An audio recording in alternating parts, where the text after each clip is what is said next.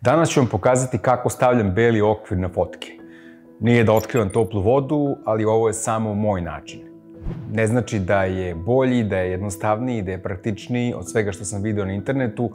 To je samo način kako ja to radim.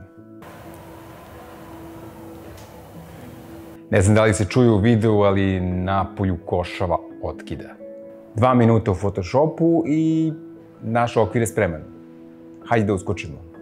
Uzet ćemo ovu fotografiju koju sam napravio pre neki dan. Prvo što želim da uradim je da je kropujem na neki od formata, da li za Instagram ili za Instagram story, pa od toga zavisi koja će proporcija biti. Ja ću recimo da uzmem za Instagram post i da je kropujem na 4 puta 5 to će izgledati otprilike nekako ovako. Sljedeće što treba da uradimo je da napravimo novi layer, da odaberemo boju okvira, da li će biti bela ili crna, meni u ovom trenutku odgovara više bela.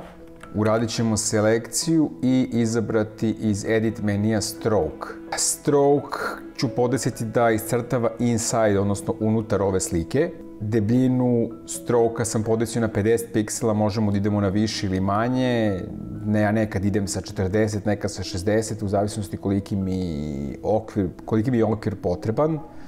Mislim da je 50 neki, neki optimum i to je to. Okvir je nacrtan. Ono što treba da uradimo sledeće je da ovu sliku malo smanjimo kako ne je bila kropovana. Znači, od backgrounda ćemo napraviti layer i transformisat ćemo ga malo koliko da izbegnemo kropovanje. E, otprilike tako. Ako smo zadovoljni ovom komp kompozicijom, jednostavno flattenujemo image